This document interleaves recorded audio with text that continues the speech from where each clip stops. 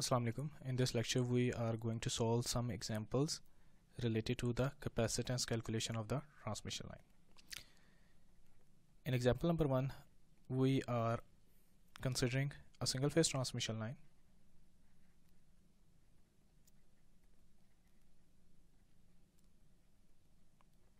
that has uh, two parallel conductors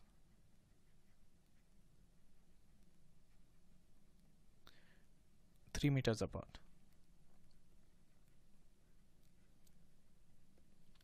And the radius of each of the conductor is one centimeter. So we have to calculate capacitance of the line per kilometer. Now we know the formula of the capacitance is pi k over ln d over r. And this is line to line capacitance. And this k value is 8.854 into 10 raised to minus 12 farad per meter the permittivity value permittivity constant value. The radius value is 1 centimeter so r is 1 into 10 raised to minus 2 meter. D is equal to 3 meter and the k value is 8.854 into 10 raised to minus 12 farad per meter.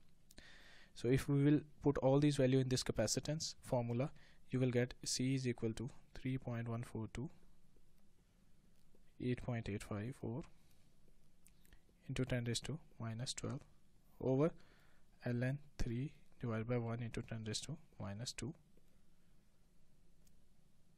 so the final value of line to line capacitance is 4.87 into 10 raised to minus 12 farad per meter. But in question the value was asked in per kilometer. So now we have to just multiply it with 1000 so the final value of CAB in farad per kilometer is 4.87 into 10 raised to minus 9 farad per meter and now if you are asked to find the line to neutral capacitance then you just have to multiply it with 2 you will have line to neutral capacitance. Because the formula of line to neutral capacitance is 2 pi k over ln d over r. In example number 2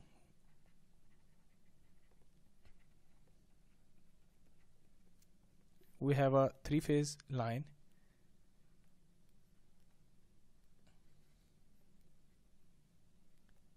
in which conductors are in horizontal plane.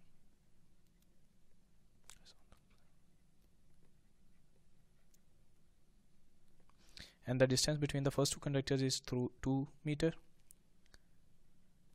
And the second two uh, conductor is 2.5 meter. And distance between the conductor A and C is 4.5 meter the diameter of the conductor is 1.25 centimeter. And if the length of the line is 100 kilometer find capacitance per phase.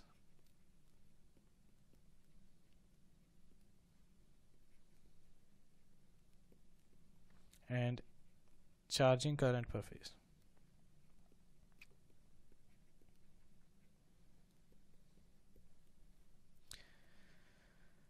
so uh, we will be starting from the formula of capacitance. CAN is equal to 2 pi k ln d equivalent over R. So this is line to neutral capacitance.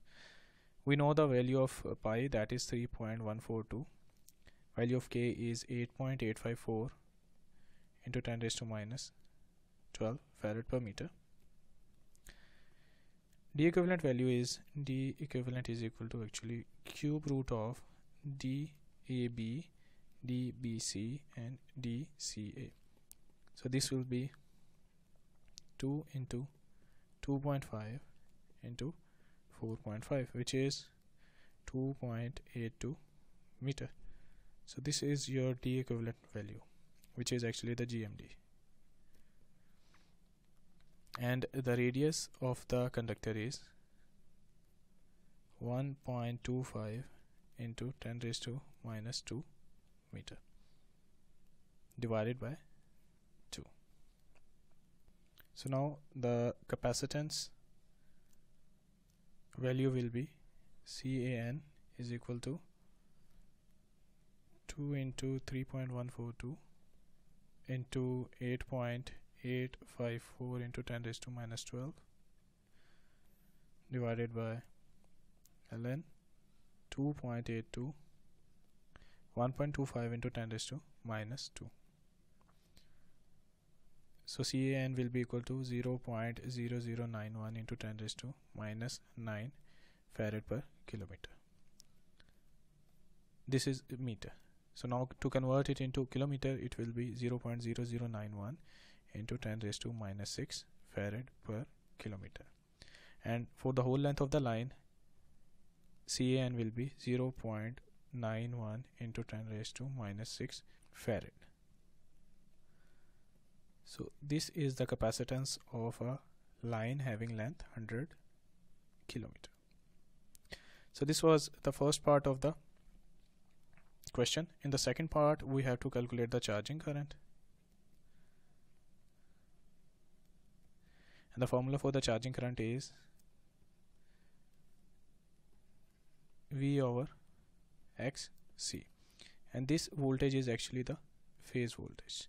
And if now we consider that the line is of 66 kilovolt then this is the line to line voltage and we have to put uh, the phase value of the voltage here. So therefore we will divide this 66k divided by under root 3 and the value will be 38.1 kilovolt. And for xc we know that 1 over 2 pi fc is the value for the capacitive reactance so it will give you the value of the denominator. So ic will be equal to 38.1 into 10 raised to 3 into 2 into pi value which is 3.142 into hertz 50 hertz and 0.91 into 10 raised to minus 6 so the charging current value will be 10.9 ampere. So this was the second part of the question. So in the second part you just have to remember that the voltage in the numerator is the phase voltage. And the value of the voltage that is given in the question is usually line to line voltage unless it is mentioned there this is the line to neutral voltage. You always has to consider it as a line to line voltage. So then you have to convert it into phase voltage by dividing it with under root 3 and then you have to calculate the value of reactance you will get the charging current value equal to 10.9 ampere. Thank you